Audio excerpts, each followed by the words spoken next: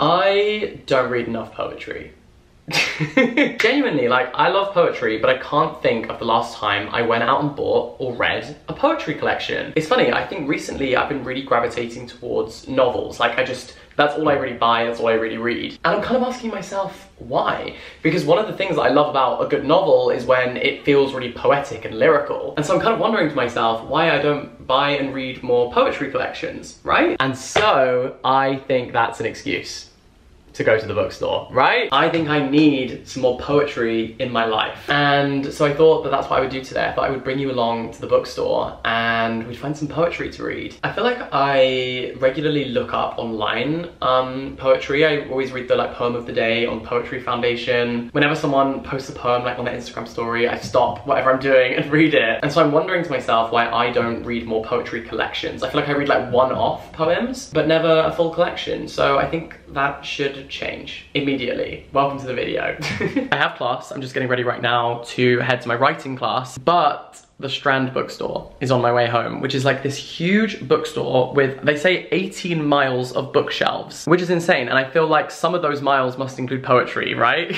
and so I think I'm gonna go to class and then on my way home, I'm gonna stop in the bookstore and I'll take you along with me and then we'll do a little poetry haul. How does that sound? I don't know about you, but it sounds great to me. So hello, welcome back. Welcome back to Jack in the Books. I'm gonna go to school and I'll see you when I'm finished. Talking of poetry collections, my friend Dakota's book just got nominated for the Goodreads Choice Awards, which is crazy and so cool. All you need to do to vote in the opening round is head to the poetry collection on the Goodreads website and then scroll down to On Sun Swallowing by Dakota Warren. And please, please, please vote. I would appreciate it so much, as would Dakota. Go and vote for this amazing, brilliant, exquisite, and brutal poetry collection. And also, you should read it. It's really, really great.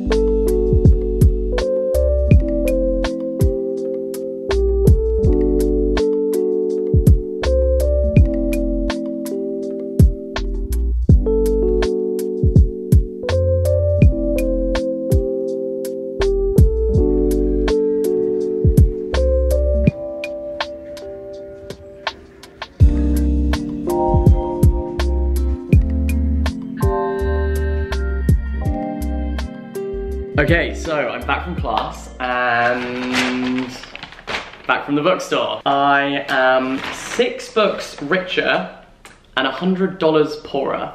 it's me, hi, uh, I'm the problem, it's me. I went to the Strand, aka Heaven on Earth, and I now have six poetry collections. They're upside down. And I thought I would tell you which ones I picked up. Welcome to my poetry book haul. But before I give you a haul, I just wanted to let you know that this video is kindly brought to you by Squarespace, basically which means I can continue spending my money on books and therefore funding this channel. So thank you Squarespace, I appreciate it so much. Now Squarespace is the place to go if you are looking to build your own website or online store. You can find this amazing range of templates which are the perfect starting point for creating your own unique website. You can customize it, move things around where you want them, and make it something that reflects you and your personality or your brand. There are amazing analytics tools so you can see what people are enjoying, what content they want to see more of, and maybe what they want to see less of. And there's also the ability to create a blog so you can share what you're working on, share some behind the scenes, and let people get to know you a little bit better. And so if this is something that you'd be interested in, if you're looking to create your own website, then you are in luck, my friend, because you can head to squarespace.com for a free trial. And then when you're ready to launch your beautiful new website, you can use the code Jack in the Books to get 10% off your first purchase of a website or domain, which is cracking news, I think. So thank you so, so much to Squarespace for sponsoring this video, and now some books. So firstly, we have Dream of the Divided Field. Love that title. Um, this is by Yanyi, and I will read you the description. From an award-winning poet comes a collection of heartbreak and transitions written with a piercing lyric ferocity.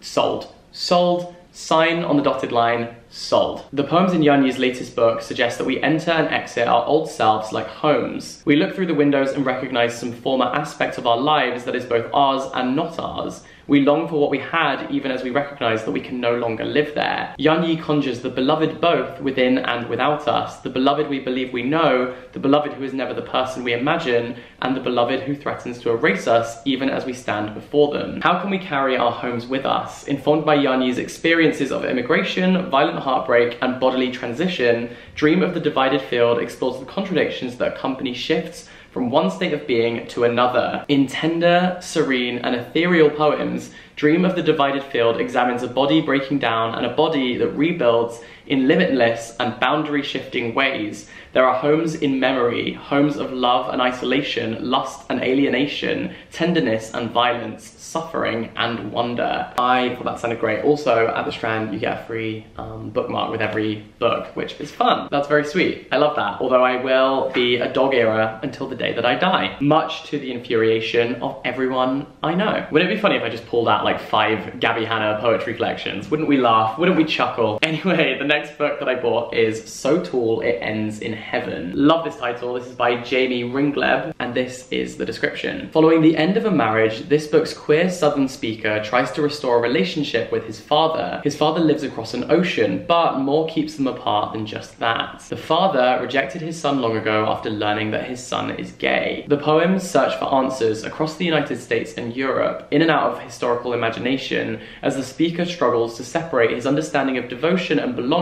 from the constant losses in his life. Drawing from and subverting the formal traditions of love poems, parables, and elegies, the collection claims a vital space for one's own solace. Nobody will love you like this poem does, the speaker says. Tell this poem what you want anything. In terms that are ruminative, funny, and tender, Jayme Ringleb's debut collection questions what and whom one lets go of by coming out.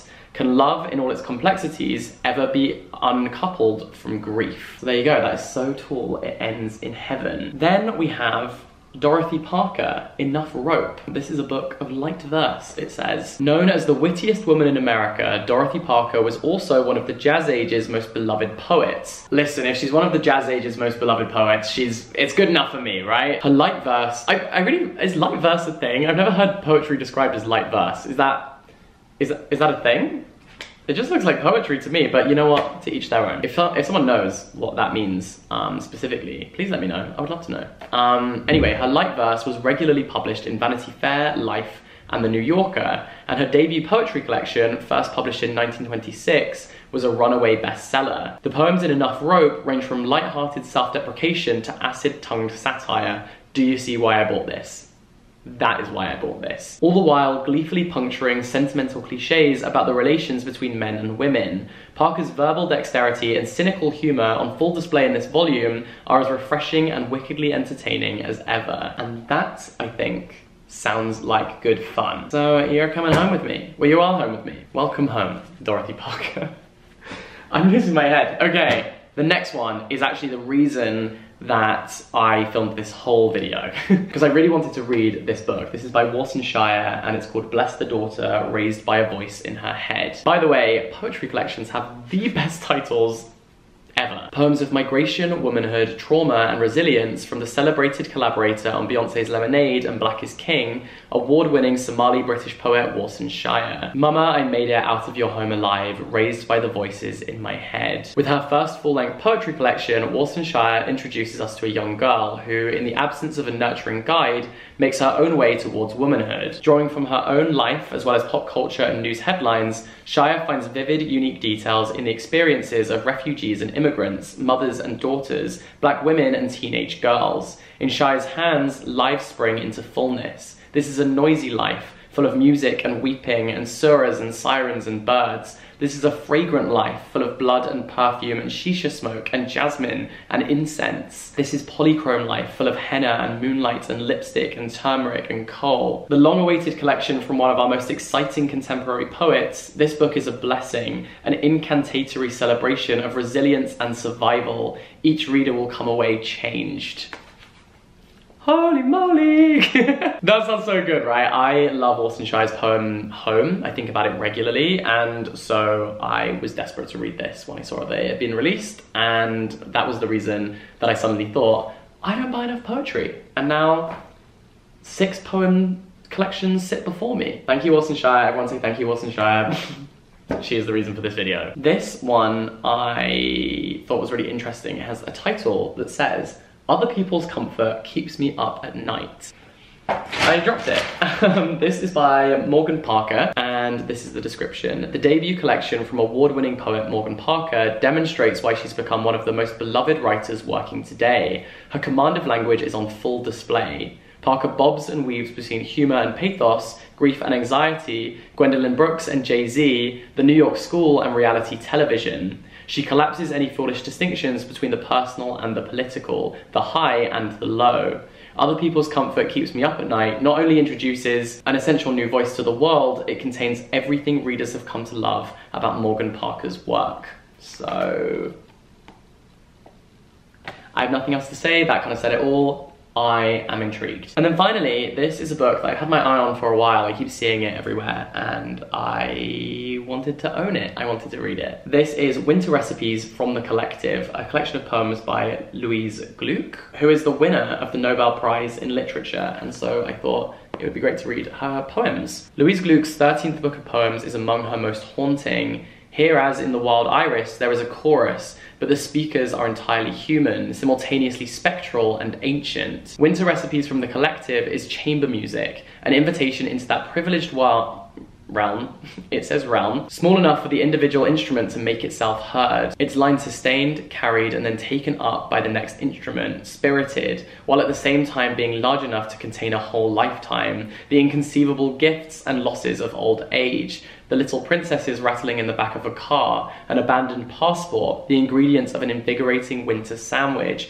a sister's death, the joyful presence of the sun, its brightness measured by the darkness it casts. Some of you will know what I mean, the poet says, by which she means some of you will follow me. Here is the sustaining presence, the voice containing all our lifetimes, all the world each more beautiful than the last. This magnificent book couldn't have been written by anyone else, nor could it have been written by the poet at any other time in her life. So there you go. Those are the six poetry collections that I purchased on my little trip, on, on my, I, why have I suddenly lost the ability to speak? On my little trip to the Strand bookstore. And I'm gonna get started with this one right now. I forgot to say goodbye. Thank you so, so much for watching this video. Thank you to Squarespace for sponsoring it and all the best. Stay in touch. Catch you next time. Bye-bye.